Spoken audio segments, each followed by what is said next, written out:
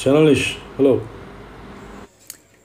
යාළුවනේ අද අනිවාර්යෙන්ම රදීෂයි ලෙහෙනි හම්බ වෙන්නේ. මොකද රදීෂ්ට එදා වුණු වැඩේ නිසා. ඉතින් රදීෂ් එදා බීමතින් ලිහින්ට කතා කරානේ රදීෂ්ට කිසිම දෙයක් මතක නෑ ලිහිණට මොනවද කිව්වේ කියලා. ඉතින් රදීෂ් කියනවා ලිහිණිගේ මූණ බලන්නත් ලැජ්ජයි කියලා. ඉතින් ඒ වගේද ලිහිණිට ආක්ෂලා දෙව්මිරත් හිනා වෙනවා. රදීෂ් ගැන කියලා. ඉතින් අන්න ඒ නිසා ලිහිණිට තවත් ටිකක් තරහ යාවි කියලා මට හිතෙනවා.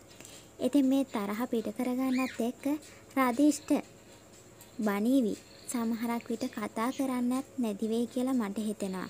මොකද ලිහිණි ඔය වැඩවලට කැමති නෑනේ.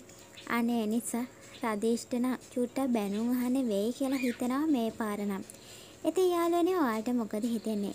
ඒ වගේම අමතක කරන්න එපා ඩේටා කාඩ් එක ගත්තු කෙනා අනිවාර්යෙන් කමෙන්ට් එකක් දාන්න. මොකද තවත් ඩේටා කාඩ් එක අනිත් යාළුවොත් try කරලා බලන නිසා.